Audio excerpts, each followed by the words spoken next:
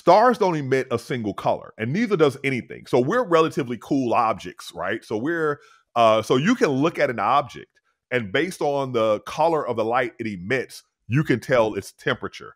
At our temperature, we emit infrared light. That's why, you know, in the military, they wear infrared goggles, and now I can see the enemy at night. But it's not a single wavelength, it's a spectrum. And I think this is key for Superman and his powers because his parents say that the yellow star unlocks his powers, but their planet Krypton orbits a red star. Now, two things. Number one, the vast majority of all stars are red because if you look at the populations of objects, whatever they are, rocks, stars, there are many more small ones than there are big ones. Small stars tend to be cool. There's an exception to this.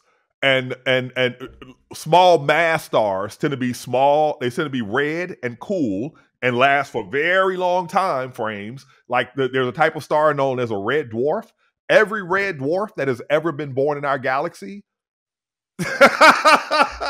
For those of you who are listening, he said red dwarf, and I couldn't help but point to myself because as a 4'11 redhead, that term has uh, perhaps been applied to me. Sorry. There's another type of star that's old called a red giant, but we'll, we don't have to worry about that here.